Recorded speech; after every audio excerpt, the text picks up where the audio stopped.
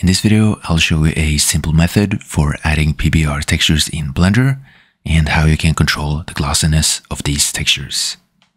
Okay, so let's start off by downloading a free texture. You'll find a link in the description. Then unzip the download. And then in Blender, we can add a subdivision surface modifier to the cube. This is just an example object. And then you can press tab for edit mode, then press Alt Shift S, then 1 to make it into a perfect sphere. Then you can add some smooth shading. And then let's open a new window by dragging the top right corner and go into the shader editor. Then select the principled node. And then enable the Node Wrangler add-on, which is included in Blender. And then we can add the texture setup. So go into the Node Wrangler tab and then add the principled setup.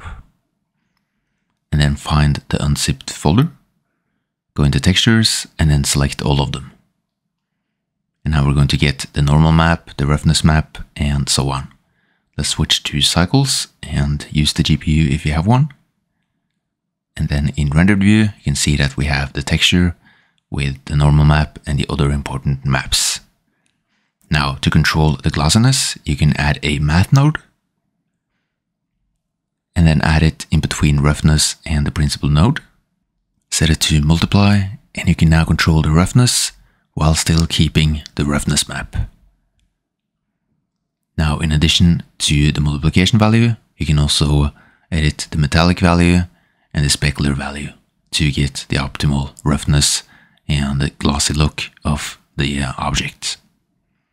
Now, in addition to the material settings, it is also important to add some lighting to the scene.